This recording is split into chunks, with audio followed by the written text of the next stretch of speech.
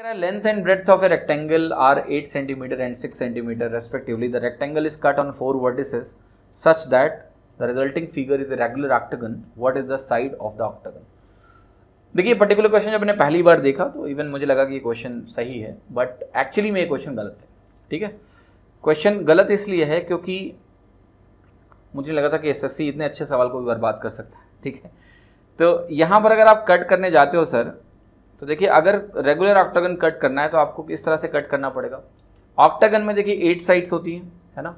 Eight sides अगर octagon में होती हैं तो एट टाइम्स 45 डिग्री आपका 360 डिग्री होता है। क्यों? क्योंकि जो एक्सटर्नल एंगल का सम होता है किसी भी पॉलीगन में, ठीक है, वो हमेशा 360 डिग्री होता है। Sum of all external angles will be 360 degree तो आठ साइड्स हैं 360 सिक्सटी बाई एट आपको निकालोगे तो 45 डिग्री मिलेगा, पहली बात। अगर आपने इसको आठ बोल दिया और इसको छः बोल दिया तो आपकी ये कंडीशन कभी सेटिस्फाई होगी ही नहीं। क्योंकि अगर आपने रेगुलर एक्टोगन कट किया लेट से इसको आपने बोल दिया कि ये वैल्यू आपकी टू एक्स है। तो अगर ये टू एक्स है तो ये वैल्यू कितनी हो जाएगी? एट माइनस टू एक्स यानी four minus x four minus six ठीक है? अब आपकी ये वैल्यू कितनी है? टू एक्स है।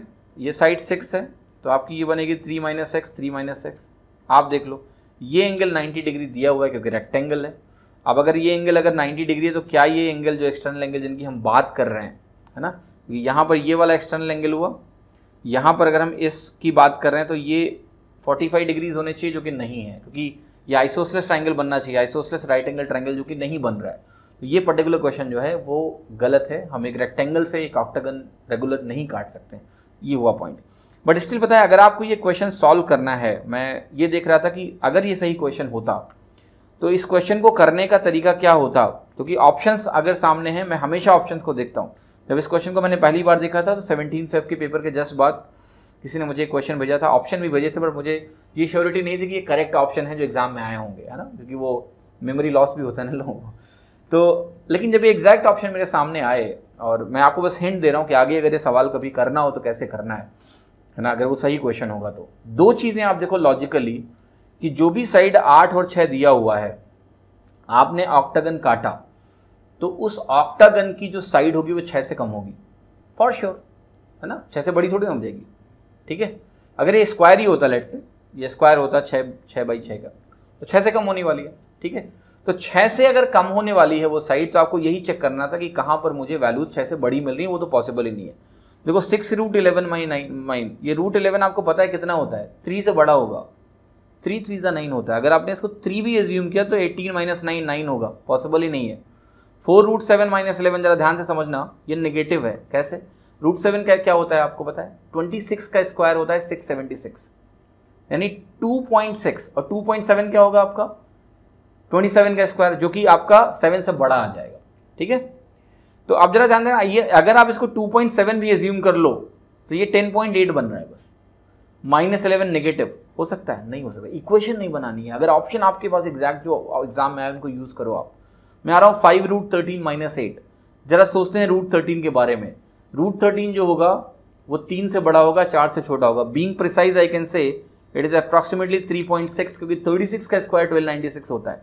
Twelve point nine six three point six अगर आप इसको देखते हो, ध्यान से जरा तो देखना कितना आ जाएगा.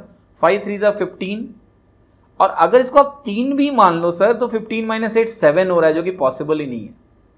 ठीक है? ये भी पॉसिबल नहीं. एक ही ऑप्शन पॉसिबल है, वो पहला.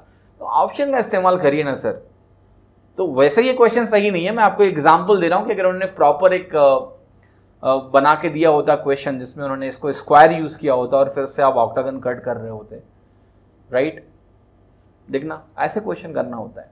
ऑप्शन चेक करो ना, वो इक्वेशन बना के सॉल्व तब करोगे ना जब आपको कोई ऐसे क्वेश्चन दे दे ऑप्शन ना दे, है ना? वरना अगर ऑप्शन आपको एग्जैक्ट एग्जैक्ट एग्ज़ाम में तो इस तरह से ओरली क्वेश्चन हो जाते हैं। सवाल ये कि क्या आप ऑप्शन चेकिंग यूज़ कर पाते हो ज्योमेट्री के क्वेश्चन में मेंसुरेशन के क्वेश्चन में? मुझे पता है नहीं। आप ऑप्शन चेक अरेथमेटिक में करना जानते हो, या नहीं करते हो तो वो तो बेवकूफ़ी है ना। लॉजिक इस्तेमाल करो ऑप्शन चेक करो जहाँ भी हो रहा है। भाई, ये तो बेसिक कंडीशन है ना कि छह से कम होना चाहिए, मुझे पता है। तो वही देखिए सेटिस्फाई नहीं हो रहा है। इस तरह से ऑप्शन हैं। आप easily you know you can mark the answer without doing anything अब इसके लिए क्या आप ज्योमेट्री की तैयारी करोगे? ये तो बस सिंपली विजुलाइजेशन है कि भाई ये ऐसे कट हो रहा है, बस लॉजिक लगा दिया कि छः से कम होगा। इस पे काम करो अगर आपको वाकई में बेहतर करना है एग्ज़ाम में तो।